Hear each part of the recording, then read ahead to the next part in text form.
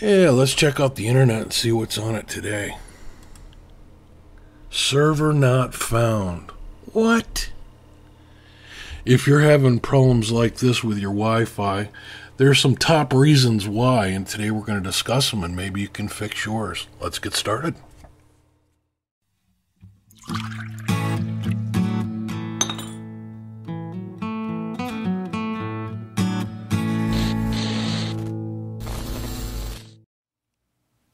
Just like with any other electronical problems, you should start at the plug. And this equipment is kind of like our plug. You want to make sure that your equipment that is coming into your house is working. Have you tried other computers on the network and are they working? Or has a password been changed recently? And have you tried rebooting the router or the modem that comes in? And these are all things that you should do first before you go messing with your computer. If the answer is you're not sure, I would recommend resetting both your Wi Fi router and the DSL or cable modem that comes into your home. Nearly all home networking equipment comes with a reset button, and it's found here on the back as a small hole and you generally have to use like a little pin or something small and poke it in the hole and push while it's running. You'll hear it click and then let go and that will reset your modem or DSL router. And I recommend doing it for all equipment where the signal comes in. Go ahead and reboot the computer try it again and see if this works. If not let's go on to the next tip. Something you can try if you have an ethernet cable such as this one is plug it directly into your router from your internet service provider. And if your computer works with the Wi-Fi with this cable, then you definitely have a Wi-Fi problem. Also, while you're at the laptop, make sure that the wireless switch is on.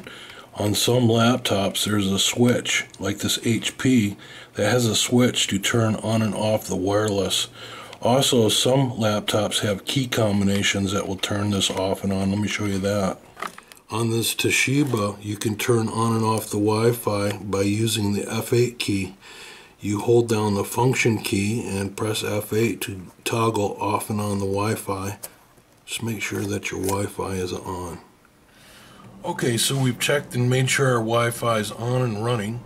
Now it's time to turn on the computer and look at our little icon for our Wi-Fi. It's located here on a Windows machine by the clock and it looks like this. If you don't see it here, you can try clicking on this triangle. It may be hidden. Once you locate it, go ahead and click on it and see if there are any connections available to you. If this list is not present, there's nothing in here, then you need to go back and review the steps that I talked about earlier. If you're connected to a device already, it will say connected here. If not, you should connect to it by clicking on it and connect. Once connected, you can go ahead and try the internet again and make sure that you refresh. If you're already connected to a device, you can try to click on it and disconnect. Wait for the message of connected to go away and then click on it again and reconnect. Once reconnected, go ahead and launch your internet again and refresh the page and see if that helps. There's always a chance that the password may have changed and it doesn't hurt to look and see what the password is. Click on the wireless settings again and open the network and sharing center here found at the bottom. Click. Once in the Network and Sharing Center, you can click on the Manage Wireless Networks button here. This is a list of the wireless networks that are saved in your system. And if you click on the one that you use,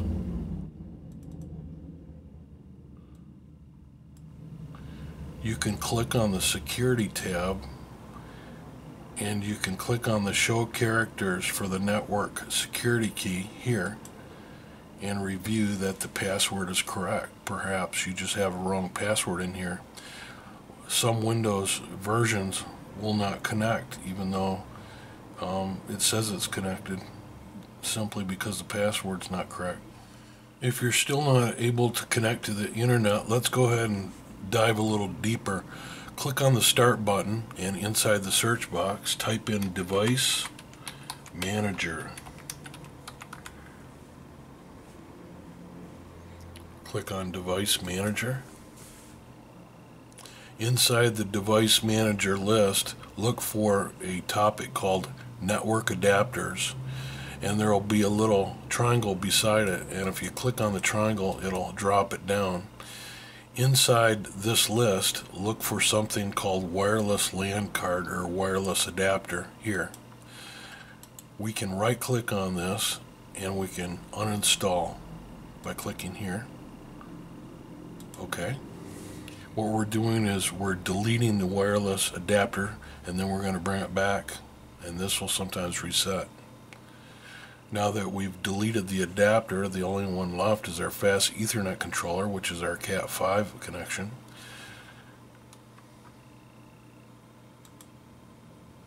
If you click on Action and scan for hardware change,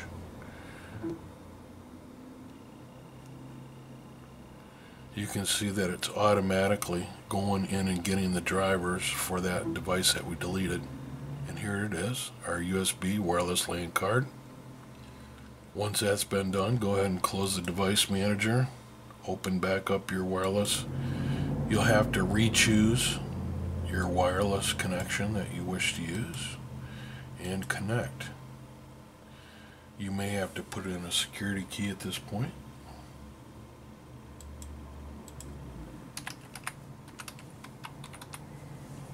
Okay.